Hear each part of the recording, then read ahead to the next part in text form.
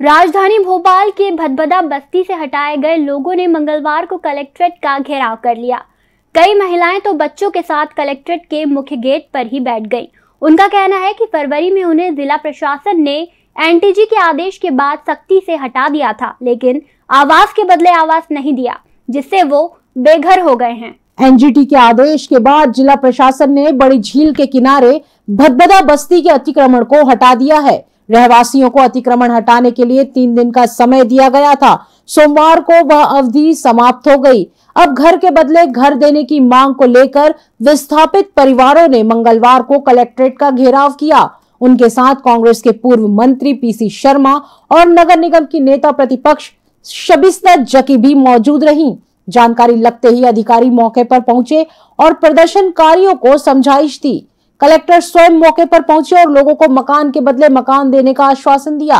पूर्व मंत्री पीसी शर्मा ने कहा कि मध्य प्रदेश में पहली बार ऐसा हुआ है जब बिना किसी व्यवस्था के गरीबों को हटा दिया गया। सब पट्टे पहले के हैं, लोग सौ साल से यहाँ रहते थे। वहाँ मंदिर और मस्जिद है।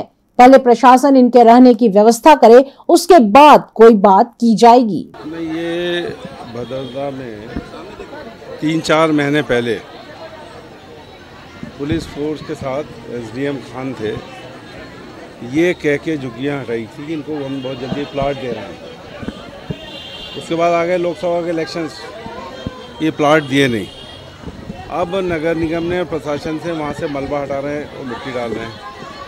हम लोगों का और इन लोगों का सबका ये कहना है हमारी नेता प्रतिपक्ष सविता जी भी है, कि ये पहले इनका व्यवस्थापन हो।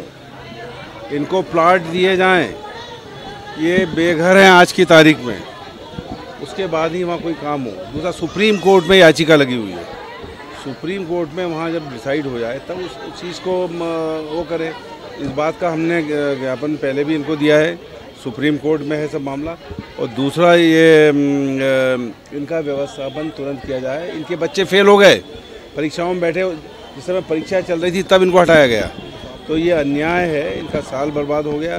इनके रोज़गार, काम धंधे वही हैं। हमने कहा वहाँ बीलखेड़ा, बिसनखेड़ी, बरखेड़ी, चंदनपुर, सब जगह जगह हैं साश की जिस तरह से कोलार रोड के झुग्गी वालों को, पचास एक को बिसनखेड़ी में जगह दी गई, वैसे इनको दी जाए।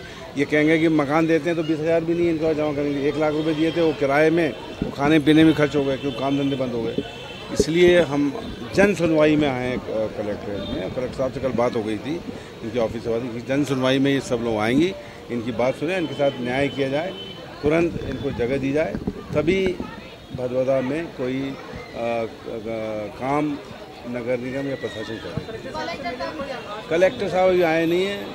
उनने ग्यारह बजे का टाइम दिया था वो लेट हो गए लेकिन हम उनसे मिलेंगे ये लोग सामने हैं। बाकी सब इधर नगर निगम की नेता प्रतिपक्ष शबिस्ता जकी ने कहा कि कलेक्टर को ज्ञापन सौंपा है। जब एनजीटी का ऑर्डर हुआ तो गलत रिपोर्ट पेश करते हुए बताया गया कि 227 झुग्गी वाले रहते हैं।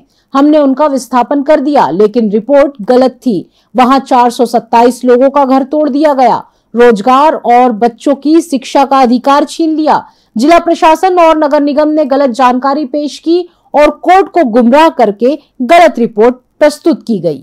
देखिए, हम लोग यहाँ पर ज्ञापन सौंपने आए हैं कलेक्टर साहब को, क्योंकि जब एनजीटी का ऑर्डर हुआ था तो उसमें इन लोगों ने गलत रिपोर्ट सबमिट की और ये कहा कि 227 वहाँ पर झुग्गी वाले रहते हैं और हम उन्होंने, हमने उनका विस्थापन कर दिया, जबकि ये बात गलत सिद्ध हुई।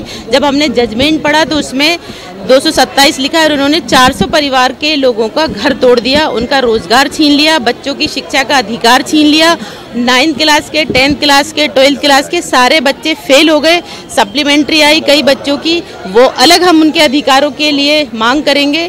बाकी वहाँ पर इन्होंने गलत गलत जानकारियाँ जिला प्रशासन, नगर निगम प्रशासन ने प्रस्तुत की और कोर्ट को गुमराह करके एनजीटी से ऑर्डर कराया और एनजीटी ने ये बिल्कुल नहीं कहा कि हम टाइटल डिसाइड कर रहे हैं। वहाँ पर कोई टाइटल डिसाइड नहीं हुआ क्योंकि ये वक्फ बोर्ड की ज़मीन है।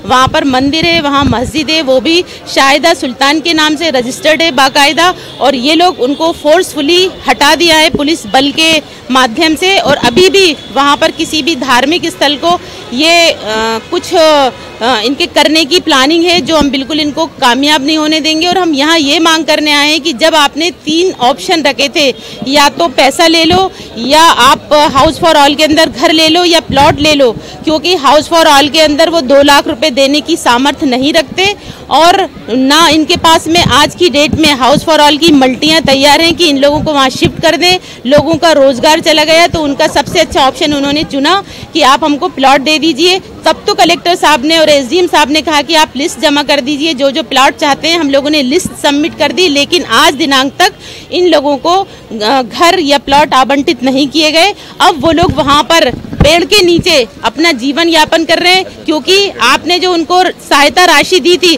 उस सहायता राशि के अंदर चार महीने, पाँच महीने के अंदर वो खर्च हो गई है, क्योंकि वो किराए से रह रहे हैं और उनका रोज़गार चला गया।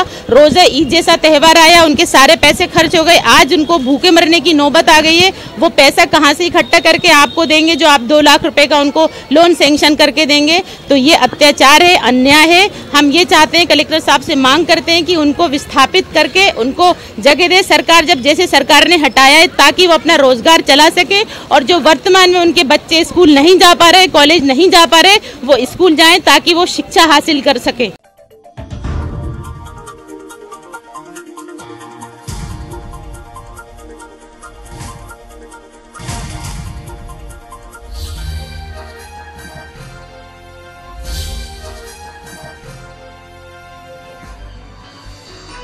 आप देख रहे हैं Dakar News.